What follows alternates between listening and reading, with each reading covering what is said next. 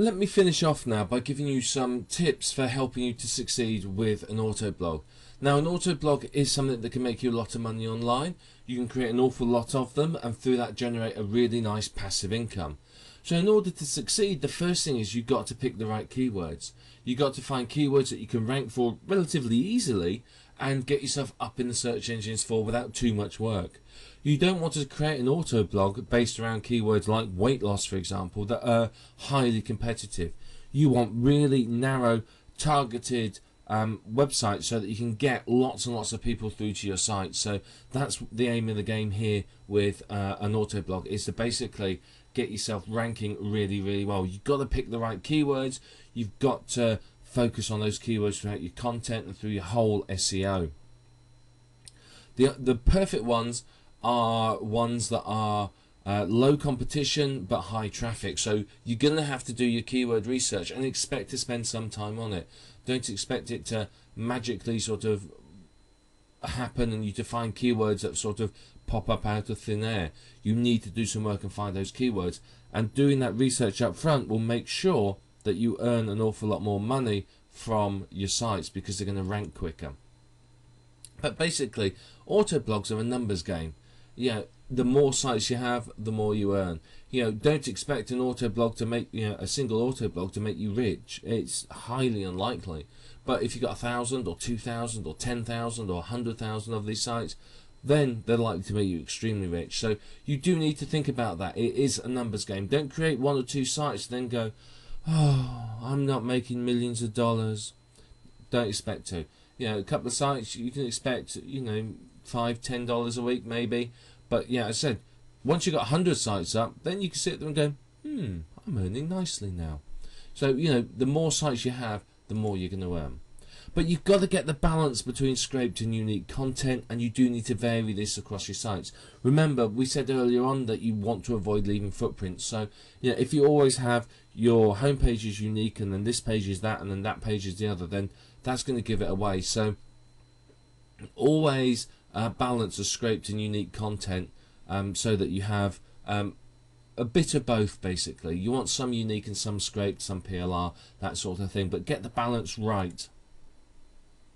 But I would recommend that you don't make auto blogs your only online sites. Certainly have them as a stream of income, but just in case something happens to them or Google decides to change its mind about sites, have other streams of income. You do not want to run the risk of having your business wiped out because of uh, one of the whims of Google.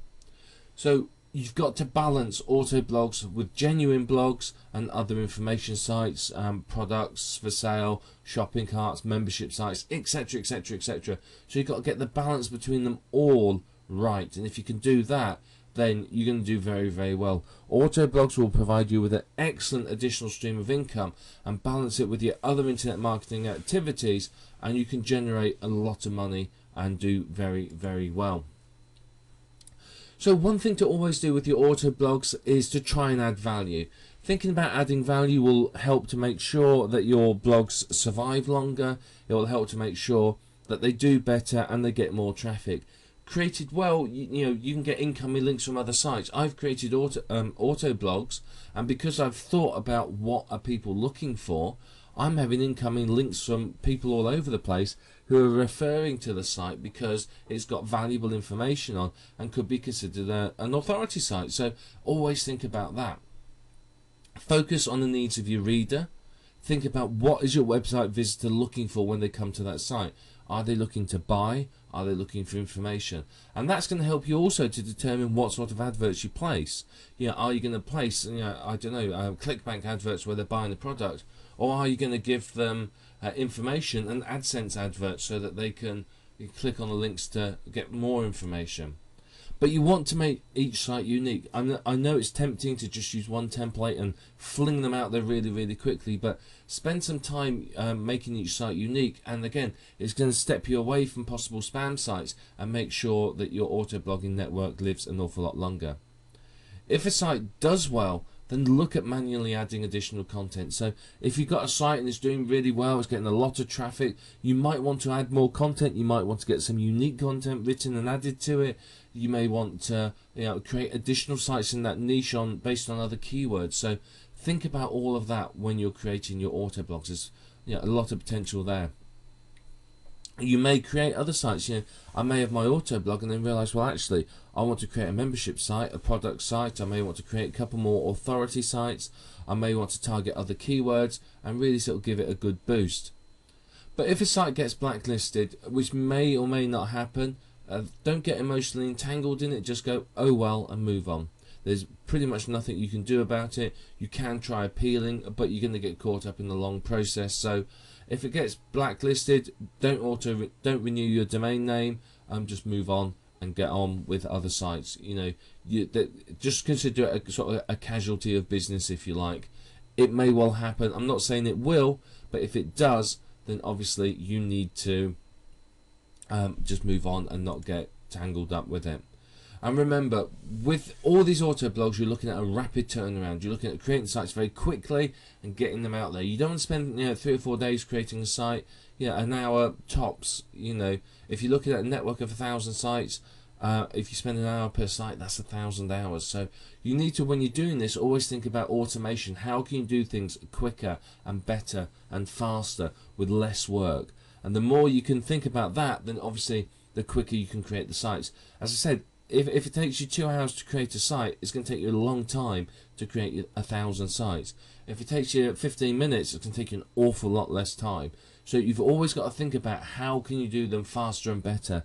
So when you're working on, on your auto blogs and you see something, you think, well, I could probably do this better. Do it better and see if it speeds things up. So remember, it's all about, it's a numbers game. It's about creating the sites rapidly and getting them up there. But your auto blogs are very, very can be very, very valuable to you. I'd strongly recommend that you um, use them and that you enjoy them because there's a lot of potential with an auto blog. You know, you can create many of these sites. You can create great additional stream of income, and of course, the sites don't need any manual intervention whatsoever, which means that you can run them on autopilot and just concentrate on building more sites and generating other parts of your business. When you've got 500, 1,000 or so of these, you could be earning a significant amount of money and it's all on autopilot with no input from yourself. So always, always sit and think about that when you're creating these.